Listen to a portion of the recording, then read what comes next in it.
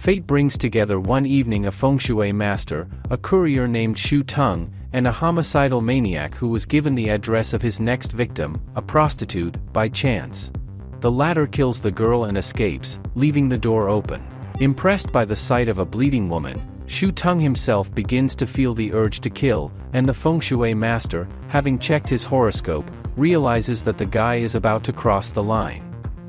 Convinced that fate can be changed, the fortune teller does everything to prevent Shu Tung from succumbing to temptation, but the gods seem to throw them one test after another.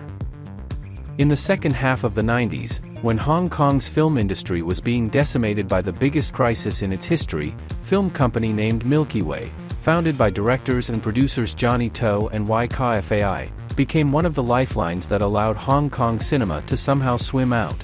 Having achieved box office success with overtly commercial movies, the owners of the company increasingly began to allow themselves creative experimentation with genres and styles, and eventually achieved such credit that the audience began to accept almost any of their movies, no matter how strange, atypical, and unconventional they did not turn out. Mad Fate is the clearest example of such an experiment, either black comedy or psychological thriller about fate, free will and destiny. All these themes have been present in the projects of Milky Way in one form or another for a long time. Just remember the 2003 thriller Running on Karma, in which Andy Lau with superimposed muscles played a former monk, and now a stripper on the trail of a serial killer. Mad Fate is a direct successor to that movie, a panopticon of quirky characters whose paths cross by the will of a higher power. Each of the key characters has their own inner demon and some path from which they are trying to turn away in one way or another. Shu Tung has had an interest in death since childhood, which eventually developed into an unquenchable urge to kill. When he smells blood, he loses control of himself, but the memory of the prison he once visited helps him hold on.